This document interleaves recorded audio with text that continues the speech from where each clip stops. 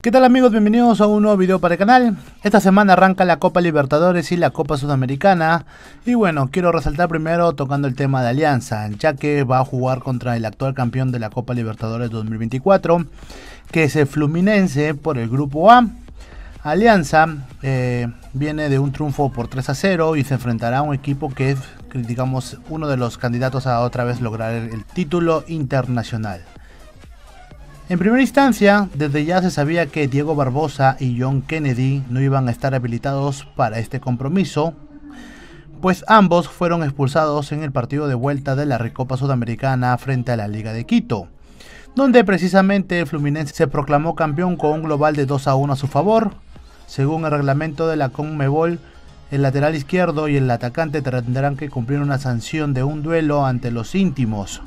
Otro de los ausentes será Keno, una de las cartas bajo la manga de Fernando Diniz y principal repulsivo por la banda izquierda del Fluminense. El futbolista de 30 años padece un esguince en el tobillo izquierdo. En la parte defensiva, el actual campeón continental tampoco podrá contar con Marlon, sanguero de 28 años, que la temporada pasada disputó un total de 20 partidos, 15 por el Brasileirao y 5 por la Copa Libertadores.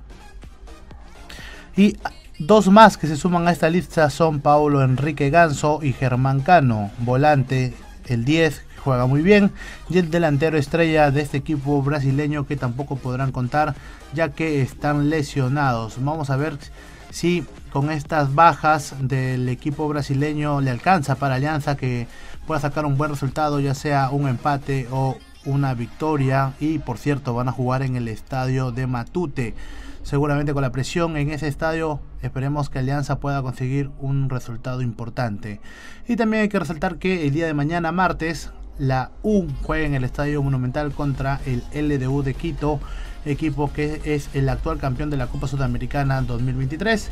Y esperemos que tanto la U y Alianza, los dos, los dos únicos equipos peruanos que van a jugar esta Libertadores, puedan arrancar el año con una victoria y bueno, hay que resaltar que los dos partidos van a ser complicados y esperemos que la U eh, vaya primero con una victoria, ¿no? El día de hoy, Oliver Sone dio una asistencia para el 2 a 2 del Sikkelborg por la jornada 23 de la Superliga de Dinamarca.